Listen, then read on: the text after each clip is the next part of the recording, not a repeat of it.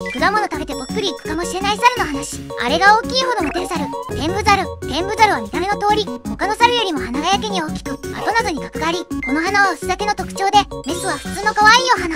オスの花は大き大きいほど力強い低い声が出てそれにメスたちは魅了される。だからこそ視覚的にも聴覚的にも大きな花はモテ具合に関わる大事なことなのだ。そんな天部猿はよく見るとお腹もでかい。実は天部猿の絵は複数に区切れておりこれは人に似たような構造。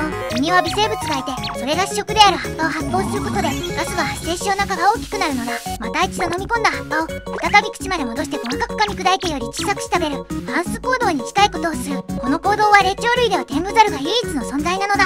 しかしは弱点があり消化に時間がかかるため1日の7割くらいは強制的に休みが必要。さらに葉っぱ以外の果物とかを食べると発泡スピードがめちゃくそ速くなりガスが溜まりまくる。そしてひどい時はそのまま胃が破裂してぷっくりいくかもしれないのだ。ちなみにテングザルの赤ちゃんは青白い顔をしているよ。